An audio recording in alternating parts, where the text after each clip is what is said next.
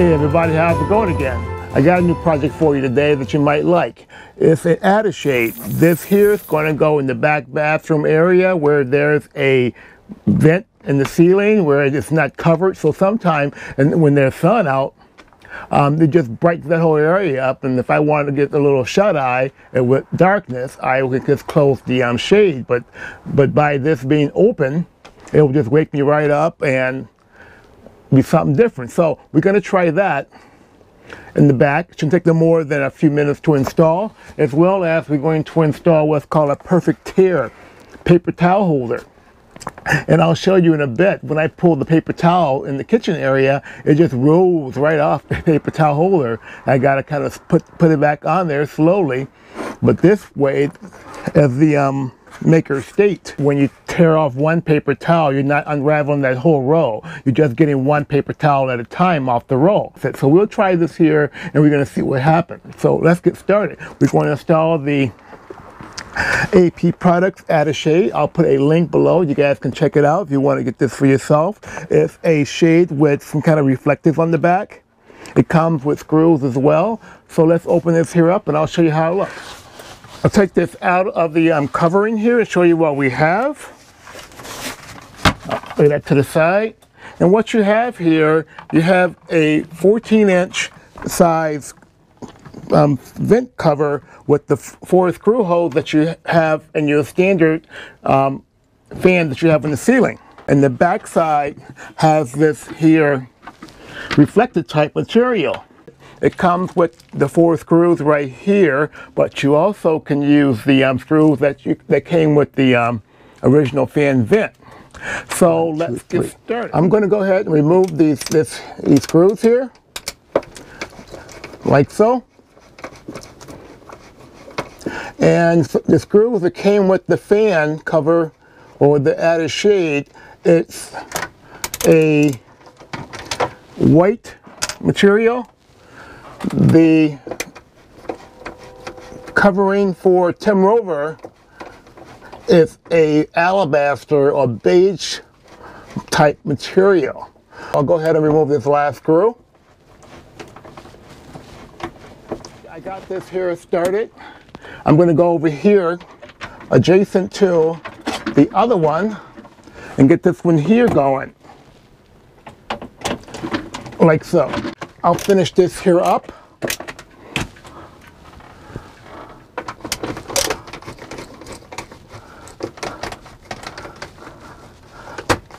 It's not bad, looking nice already.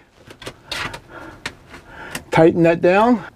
So this is a pretty good project. It closes nice, opens nicely. It doesn't affect the um, twisting of this little dial here that opens up the um, fan cover as in the lid to get a little ventilation. And it has a little reflective will kind of help out. I like it.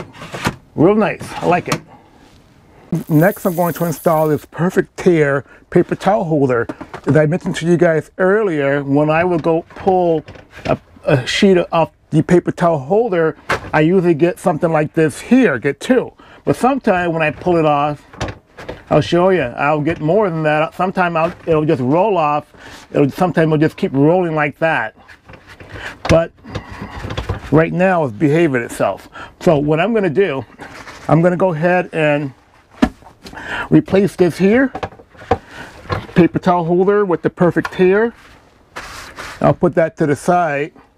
So what I'll do, I have two screws here and try to minimize putting screws inside of the um, counter here or the upper cabinets because once you put screws in there, you get the holes there forever what I'm going to do, I'm going to just use one of the screw holes and create another screw hole that I have for this section right here. As you can see there's two screws right here. So basically it'll go just like that under the cabinet.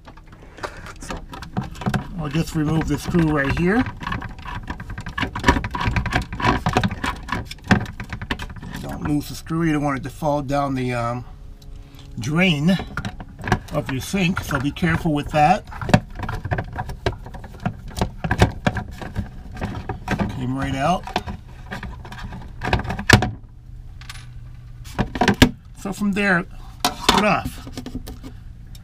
Got the um, perfect tear paper towel holder. It's kind of more of a ratchet type of uh, mechanism here. It doesn't just spin and rolls. It kind of holds the paper towel in place. This, with this perfect tear, it came with these anchors right here that you would use like in some drywall, as well as these Phillips screws I'm going to be using.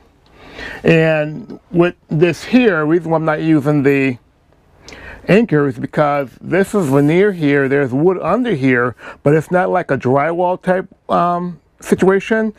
It's more of veneer with some um, lighter wood. So what I'm going to do, I'm going to follow up, I'm going to use a little liquid nails. The same liquid nails that I used a few years back when I installed the fire extinguishers. I'm going to use that. It seems to hold up pretty well. So let me get started with this here. I have my gloves here because you don't want to get any liquid nails on your hands because it's a, it's a bear to get off.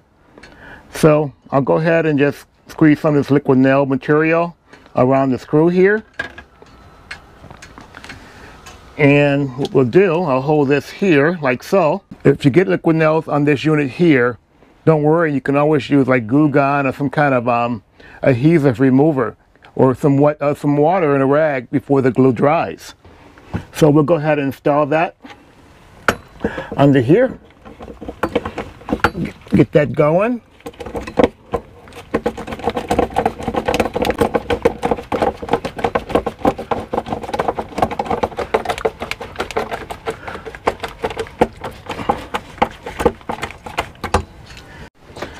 And we'll do this next screw here.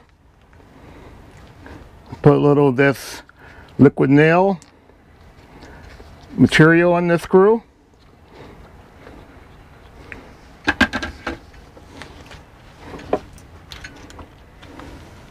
Go ahead and screw that in nice and tight.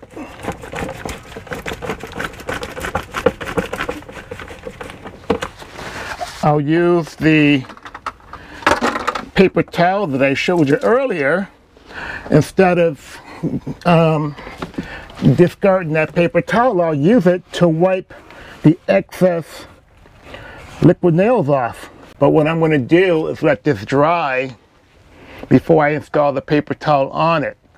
Because you want to kind of wait maybe 24 hours before this, um, before you can put a paper towel on it. Since you know you're using basically like particle board and veneer. It's not that hardwood you have like in your house, like a 2x4.